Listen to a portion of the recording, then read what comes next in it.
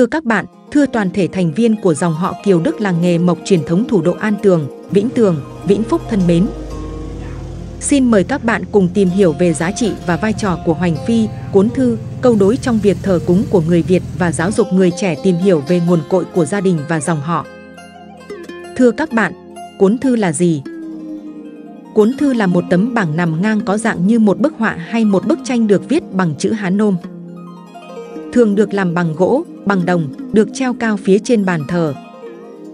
Về bố cục của một cuốn thư cơ bản ở giữa chủ yếu là chữ được giả như viết trên một cuốn thư thật. Để dễ hiểu hơn bạn có thể hình dung nó như một dạng cuốn thư cổ của Trung Quốc mà ta hay bắt gặp trong các bộ phim cổ trang. Hai bên cuốn thư gồm, một bên cuốn thư là cây bút bên còn lại là thanh bảo kiếm, tượng trưng cho kiến thức và sức mạnh. Ngoài ra cuốn thư còn được trang trí thêm nhiều họa tiết rồng phượng, long ly quy phượng toát lên vẻ sang trọng, huyền bí, quyền lực. Cuốn thư cổ và thường được hoàn thiện sơn son thép vàng bằng chất liệu sơn ta. Thưa các bạn Hoành Phi câu đối là gì? Hoành Phi câu đối là hai tấm bảng gỗ hình chữ nhật được đặt đối xứng hai bên bàn thờ. Hoành Phi thường có hoa văn đơn giản hơn cuốn thư, chủ yếu là tập trung vào câu đối và nội dung hàm ý chứa đựng trong đó. Hoành Phi phải mang một ý nghĩa tốt, thể hiện được lời dạy hay quan điểm của tổ tiên về đạo đức, luân thường đạo lý, đối nhân xử thế. Thờ mẫu, thờ thần linh hay thờ tổ tiên thì mỗi hoành phi câu đối sẽ được lựa chọn cẩn thận câu từ sao cho vừa mang một hàm ý. Ý nghĩa tốt mà còn phải phù hợp với bậc thần thánh mà chúng ta đang thờ cúng.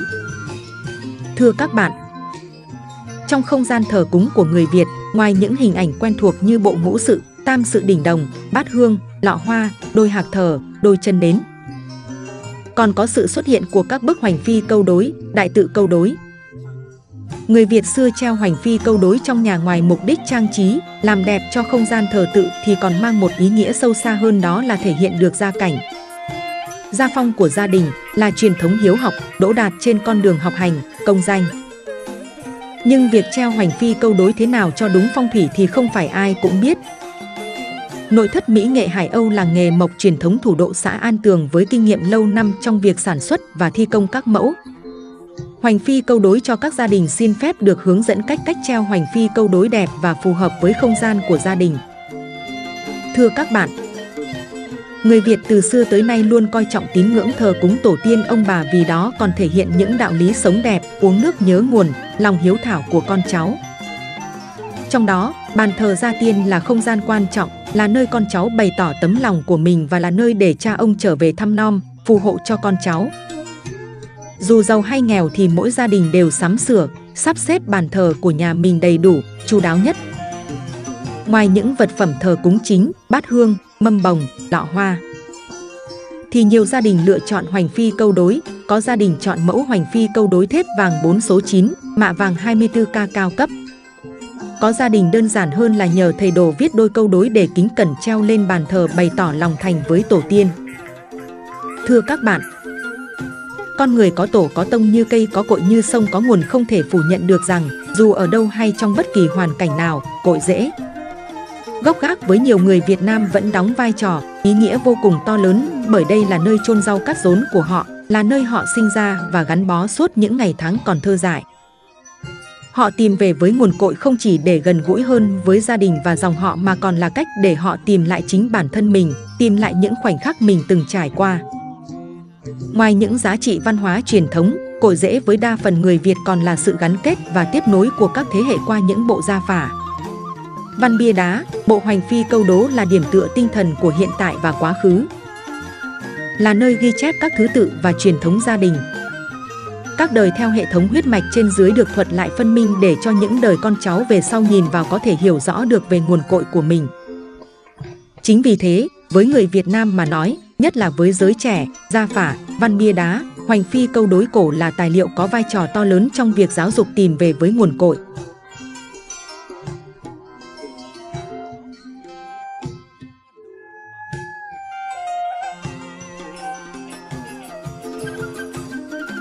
Thưa các bạn và quý vị thân mến, nhà thờ Chi Ba họ Kiều Đức làng nghề truyền thống thủ độ, xã An Tường, huyện Vĩnh Tường, tỉnh Vĩnh Phúc.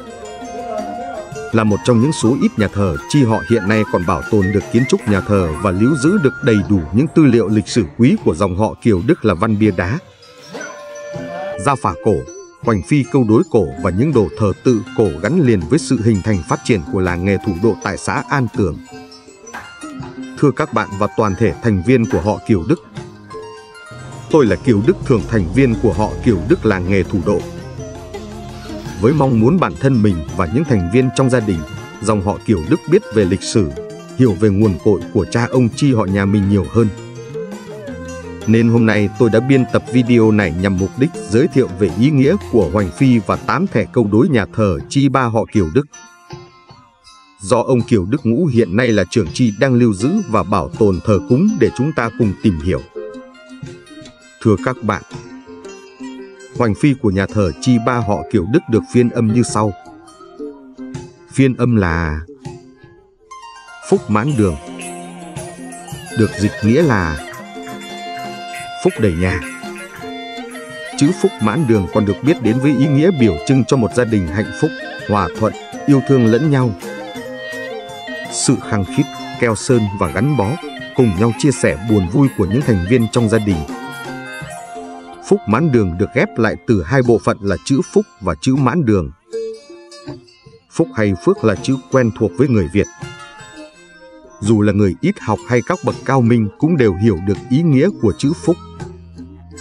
Chỉ một từ ngắn gọn nhưng bao hàm rất nhiều ý nghĩa, đó là sự may mắn, hạnh phúc, sum vầy và vui vẻ. Cả một đời người, không cần quá nhiều mà chỉ cần có chữ phúc là đủ. Có phúc, sức khỏe sẽ luôn dồi dào, tinh thần vui vẻ, minh mẫn. Có phúc công việc sẽ luôn thuận lợi, gặt hái được nhiều thành công và đạt được thành tựu tương xứng với những nỗ lực đã bỏ ra. Có phúc, gia đình sẽ luôn thuận hòa, vợ chồng yêu thương nhau, con cái đùm bọc và đoàn kết. Theo ghi chép trong giáp cốt văn, hình thái ban đầu của chữ phúc được lấy hình tượng từ hình ảnh một người đang giang hai tay bế vò rượu để cúng tế thần linh Nghi lễ này được thực hiện với mong muốn được ban phước lành, cuộc sống hạnh phúc, an lạc và thái bình. Cho đến nay, trải qua hơn 3.000 năm, ý nghĩa của chữ phúc vẫn được giữ trọn vẹn. Chữ mãn đường có ý nghĩa là đầy ắp trong nhà. Chữ phúc được ghép với chữ mãn đường mang ý nghĩa tốt đẹp nên thường được khắc lên cuốn thư, tranh phong thủy, lục bình, hoành phi câu đối, những người hay chữ hoặc quan tâm đến phong thủy hầu như đều ưa chuộng các vật phẩm có chữ phúc mãn đường.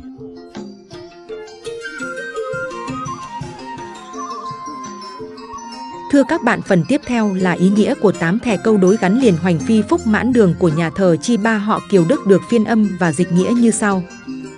Phiên âm thẻ câu đối số 2 và số 3 là Hào hùng phẩm giá tam chi biệt, tích lũy nhân công bác Diệp Lai. Được dịch nghĩa là phẩm giá hào hùng dòng họ có ba chi riêng rẽ. Tích lũy điều nhân ái từ 8 đời trước đến nay. Ý nghĩa của đôi thẻ câu đối này là Chi ba trong dòng họ Kiều Đức là chi có số đinh đông nhất.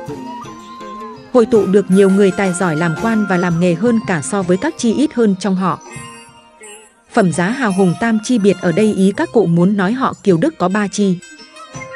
Chi ba họ Kiều có sự khác biệt nổi trội có thể hiểu là sự tự hào về giá trị cao quý từ những thành quả trong học tập, sản xuất kinh doanh đạt được của chi ba trong dòng họ. Họ Kiều Đức được chia thành ba chi riêng biệt.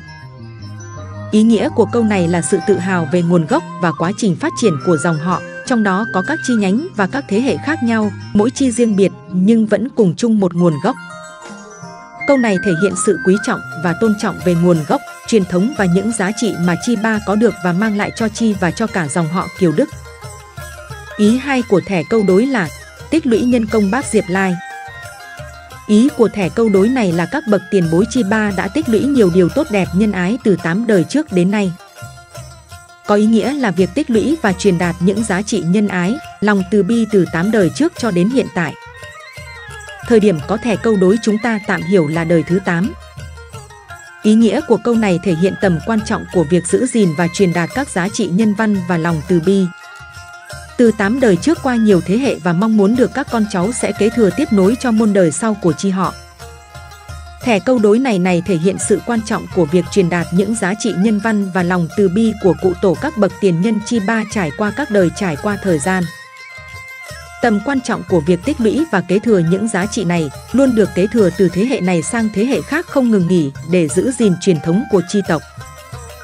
Cả hai thẻ câu đối 2 và 3 đều thể hiện sự đề cao nguồn gốc chi tộc, truyền thống và giá trị của gia đình, chi họ và dòng họ.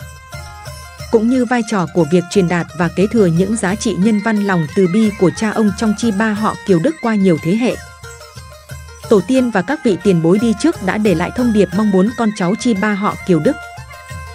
Những đời sau phải kế thừa và phát huy tinh thần đó. Phiên âm thẻ câu đối số 5 và số 4 là Di Di đường thượng tường thiên tập, hân hân gia trung lộc bách hoa. Được dịch nghĩa là Vui vẻ trên nhà dạy bảo cháu con nghìn điều tốt đẹp. Hân hoan tổ ấm đón chào lộc trăm hoa.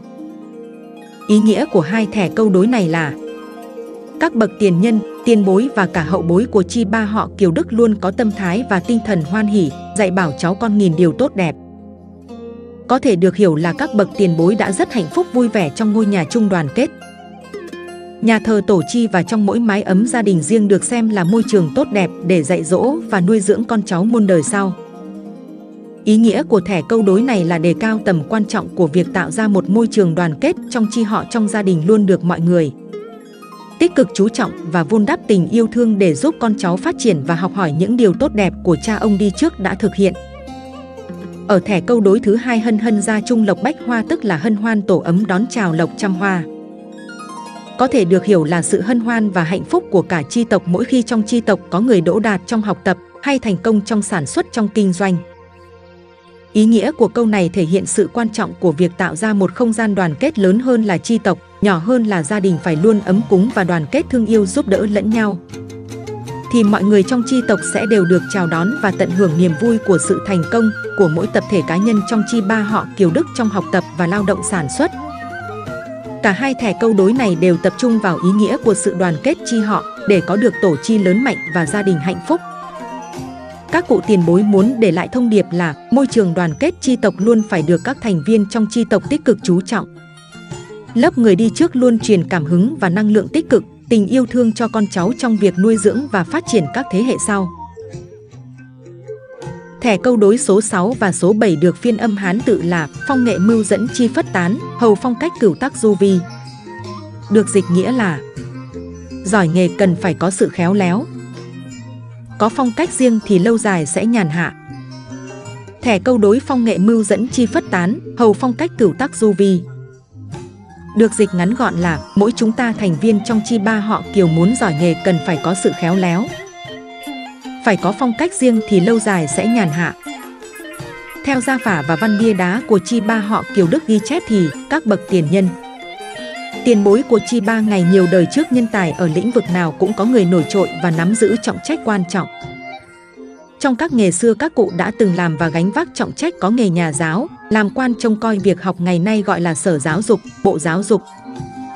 Ngoài nghề dạy học trông coi việc dạy học, nhiều cụ trong chi tộc ngày đó còn rất giỏi buôn bán và làm nghề mộc truyền thống, đã góp phần làm nên nhiều công trình văn hóa như đình làng, chùa làng, ở đôi thẻ câu đối này các cụ đã nhắn nhủ con cháu đời sau muốn giỏi nghề cần phải có sự khéo léo và siêng năng rèn luyện học tập có thể hiểu là để trở nên giỏi trong một nghề nào đó hay nghề mộc, người ta cần phải có sự khéo léo, tinh tế và thông minh, có tư duy logic.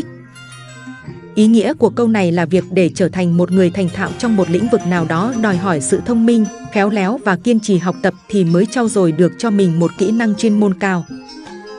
Trong thẻ câu đối hai các bậc tiền bối chi ba họ Kiều Đức đã nói rất rõ và cụ thể làm bất kể nghề gì nếu tạo dựng được.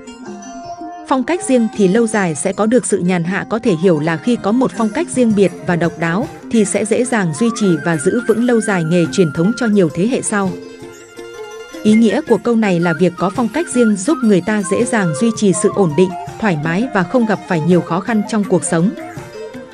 Cả hai câu đối này đều tập trung vào ý nghĩa của kỹ năng, sự thành thạo và tính cách cá nhân.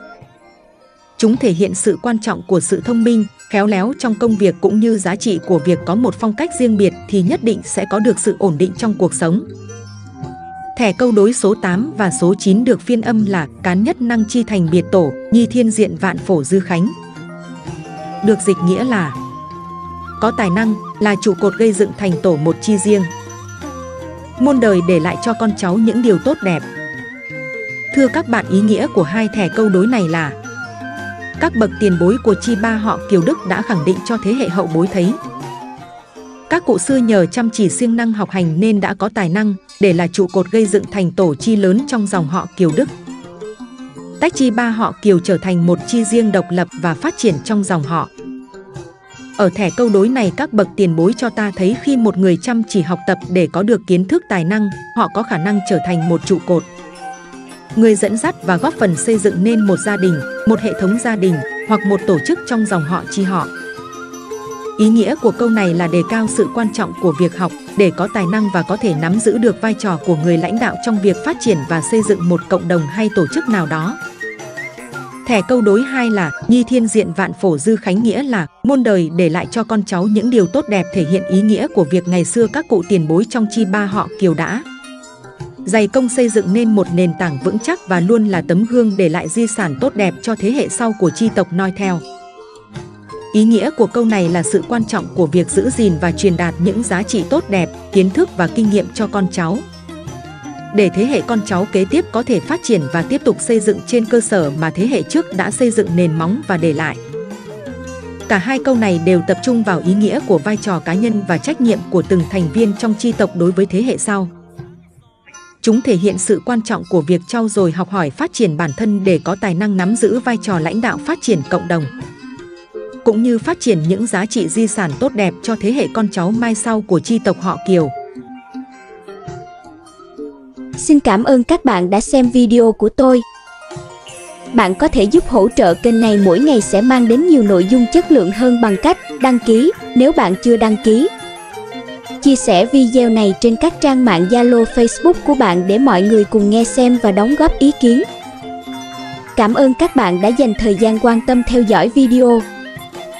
Chúng tôi đang hướng tới 5.000 người đăng ký ủng hộ để giúp thúc đẩy quá trình sản xuất video của chúng tôi được thành công hơn. Trân trọng cảm ơn đăng ký kênh và những comment đóng góp ý kiến của các bạn.